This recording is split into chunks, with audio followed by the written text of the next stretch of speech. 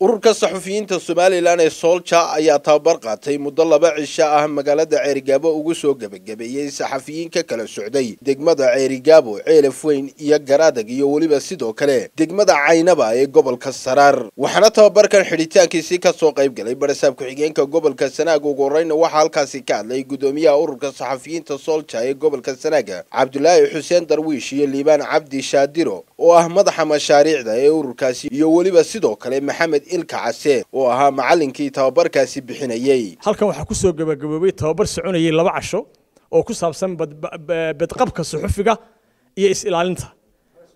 Waxaa ka soo qayb galay shan iyo labaatan xubnood. Markaa waxaan kaloon jecelahay kolley inaan caddeeyo intii ka horreysay xuute sooljo iyo sanaag ismay oqon. Laakiin intii xuute sooljo qabsaday ayay sanaag sooljo maqashay. Waxqabadku haba yaraado laakiin wuu soo kordhi doonaa oo dee maaragtay istabisaba wax isaga socon doonaan. Kolley waad maqlaysaan dee ilaa heer jaamacadeed in la sii wado. Waxaanu aad markale uga mahad celinaynaa ururka solja iyo hay'adda i m s international media support oo iyaduna hawshan mataqaanaa taakuleynteeda lahayd. Intaa marka laga soo gudbo kulanka labada cisheenu nimid runtii muddo ahaan ha koobnaado laakiin waxaan aaminsanahay inaad wax badan ka kororsateen wax badanna idinka bedeli doono. Waxau ka hadlayaa waa badqabka suxufiga iyo is-ilaalinta suxufiga. Insha allahna waxaan rajeynayaa inaad dabiqi doontaan waxyaabihii aad ka barateen kulankan oo mataqaanaa nafihiina iyo ta qaranka guud ahaaneed baa sidii qiimaha badnayd idila socoteen iyo sidii aynu diskas garaynay ama aynu u wadaagnay duruusteennii ku saabsanaa safetyga aad baan ugu farxsanahay waxaa kaloo aad ii farxad geliyey saxafiyiinta gobolka joogta inkastoo kuwa caynaba gobolka magaalada gobolka saraare caynaba ay naga habsaameen oo duruuf ay ku timid. Laakiin inteennii kala joogtay ka qayb gashay shalay maantuba? Waxaan qirayaa inaad tihiin saxafiyiin soo jeeda. Waa niban aada u soo jeeda oo baraarugsan. Doodooda dhiibanaya kal furan aqoon fiican nalay runtii weeyaan. Marka aad baad mahadsantihiin.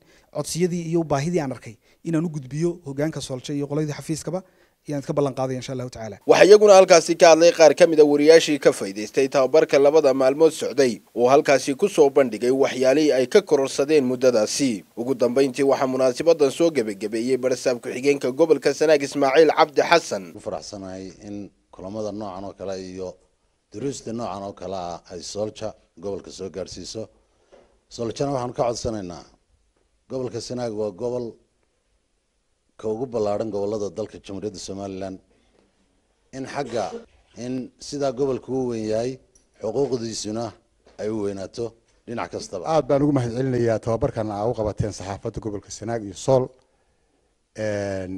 Sooja ay u qabatay oo labada maalmooda. Aad bay ugu mahadsan yihiin run ahaantii. Wax loo baahnaa oo aanu baahi u qabnay weeye annagoo ah gobol fog oo bariga labadii gobol ee bariga weeye oo aada u fogaa. Waxaan u baahanaa inay intaa ka sii bataan oo aada saxaafadda u qabataan tababaro fara badan iyaga oo ka imanaya dhul badan oo ballaaran oo kala fog weliba ka imanaya aad isugu keenteen degmada ceergaabo oo kale. Waa wax fiican weeye. Waan idinka sugaynaa kuwo kale inaad noo qabataan run ahaantii iyadoo aanu baahi weyn u qabno. Maantana sooja ay noo soo jeesatay. Cabdiraxmaan axmed ilsar star t v magaalada ceergaabo